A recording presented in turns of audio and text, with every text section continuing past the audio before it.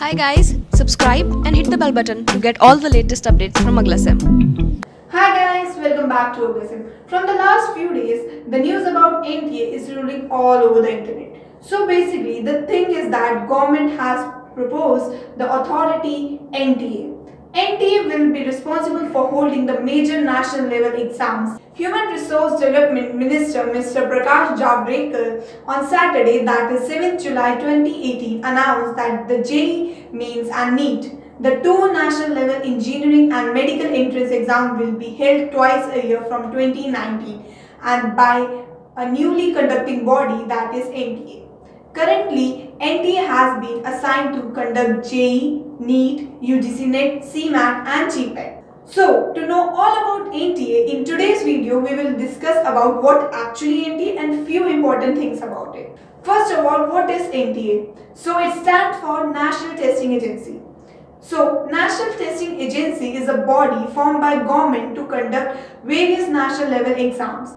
This body is going to take over the conduct of exam from CBSE as well other authorities like UGC, AICTE. So NTA is going to hold exam which these authorities has been holding from a long period. Now NTA will conduct them like JEE Main, NEET, UGC NET, GPAT and CMAT. NTA was approved by Union Cabinet in November 2017 and has finally come to existence.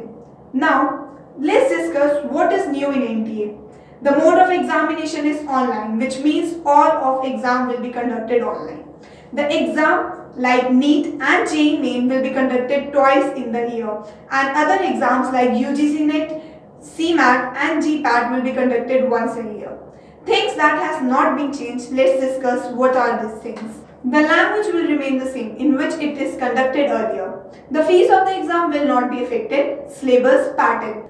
It will only work to conduct examination throughout the year. So it will develop its own infrastructure and would be independent from the third party interference.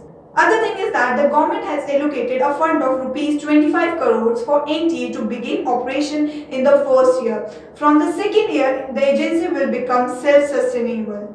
NTA will be created as a society registered under the Indian Society Registration Act 1860. NTA will work in the four areas of expertise research, test development, test administration, test marking.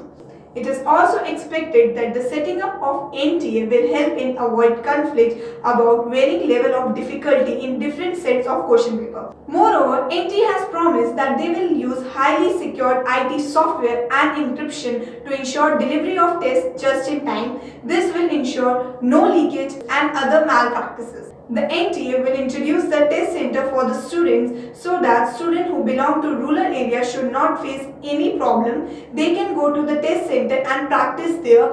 It will be open on Saturday, Sunday. So the people who are working can also practice in the weekends.